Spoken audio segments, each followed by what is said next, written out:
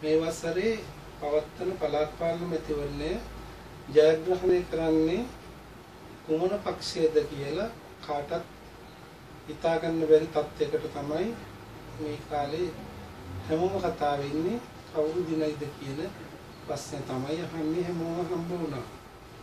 මම මීට පෙර අනාවැකි රාශියක් සාර්ථකවම කියපු කෙනෙක්.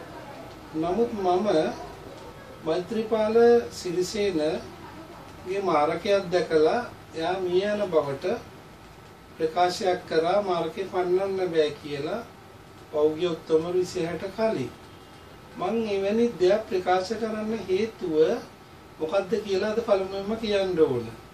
මේ රටේ අපි සිංහල බෞද්ධය වුණාට දවසකට ගවයන් 1000කට වඩා ඝාතනය කරන රටක් මේක. අන්න ඒකට විරුද්ධ නිසා මෛත්‍රීපාලට මරණ වැය පෙන්වන හරි මේක තහනම් කරන්න ඕන චේතනාවෙන් තමයි මම එහෙම කිව්වේ.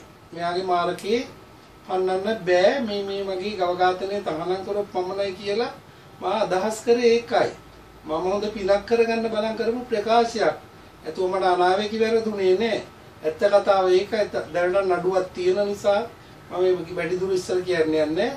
මෙවර පළාත් පාලන මැතිවරණ ජයගන්නේ කවුද කියලා මම කියනවාද ඊට අවුරුද්දක් කලින් කියපු දෙයක් මම මේ නැවත ප්‍රකාශයක් කරන්න යන්නේ මොකද පරණ දේවල් වලට වඩා අලුතින් යමක් කියන එක හොඳයි කියලා හිතුවා.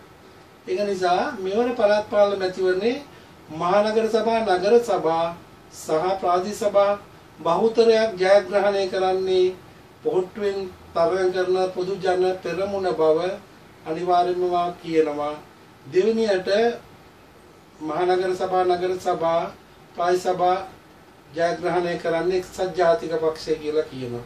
කිසිම ප්‍රාදේශීය සභාවක් නගර සභාවක් ඕ මහනගර සභාවක් ජයග්‍රහණය කරන්නට බුලත් කොලේට හෝ අත ලකුණට බෑ. මෙවර ජනාධිපතිගේ නායකත්වයෙන් තරඟ කරන පක්ෂය පොදු ජන එක්සත් පෙරමුණට හෝ ශ්‍රී ලංකා නිදහස් පක්ෂයට කිසිම පළාත් සභාවක පළාත් පාලායතනයක ජයග්‍රහණය ජයග්‍රහණය හිමිවන්නේ නැති බව මම කියා සිටිනවා.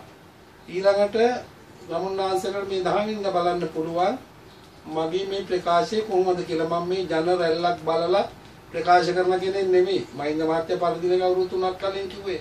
මෝදි දිනන එක අවුරුද්දක් කලින් කිව්වේ ඩොනල්ඩ් ට්‍රම්ප් දිනන එක මාස 3ක් කලින් කිව්වේ. කරත් පොන්සේගේ කාස්නයක ගන්න නැහැ කියලා කිව්වේ මාස 6ක් කලින්. ඉතින් ඒක නිසා මගේ මේ අනාවේ කිය බලන්න ඔබ ඕන තරම් ඕන කෙනෙකුට මම කියන ඔට්ටු අල්ලන්න කියලා. ඔට්ටු අල්ලනවා නම් ඔට්ටුව තමයි ජයග්‍රහණය කරන්නේ. පෙබරවාරි 10 පළාත් පාලන මැතිවරණේ